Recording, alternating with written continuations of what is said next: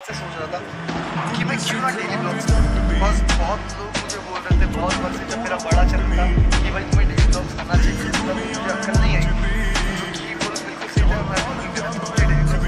But तो मैं बहुत ज़्यादा आलसी हो गया था। इसकी वजह से अब इस चैनल पर मैं डेली ब्लॉग्स करूँगा।